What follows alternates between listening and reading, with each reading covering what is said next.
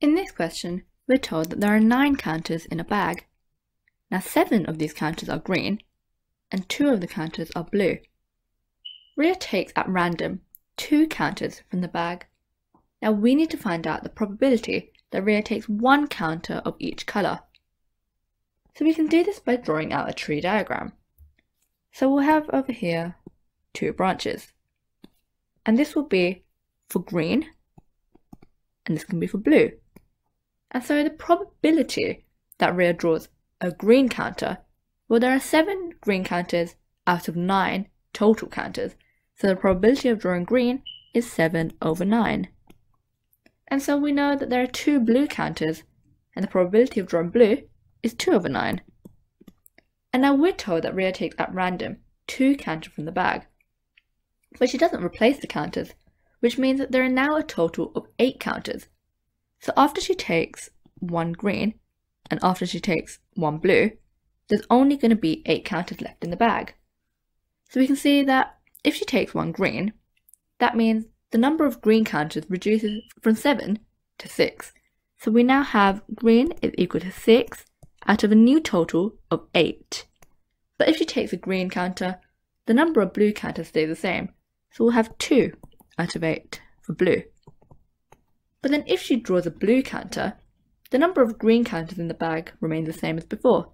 So we'll have 7 out of the new total of 8 counters.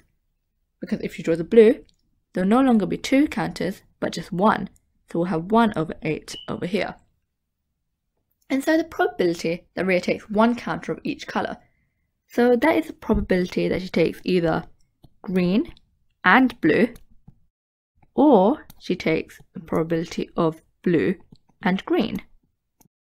And now the general rule for probability is that AND means you multiply, and that OR means you add.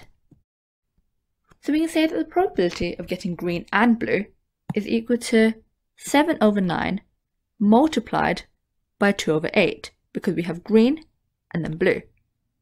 So probability of green and blue equals 7 over 9 multiplied by 2 over 8, which we can simplify into 14 over 72.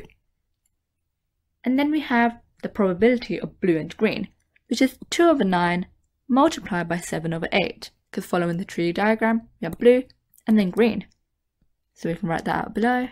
Probability of blue and green is equal to 2 over 9 multiplied by 7 over 8, which is 14 over 72. And so we mentioned that OR means add. So we're trying to find green and blue or blue and green, which means we'll now do 14 over 72 plus 14 over 72 equals 28 over 72.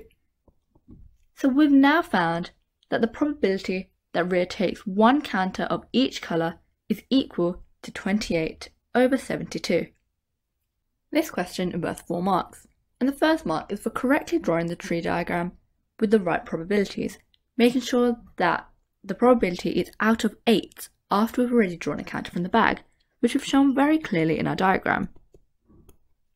And now the second mark we be the probability of green and blue and for the probability of blue and green by multiplying and getting an answer of 14 out of 72 for both.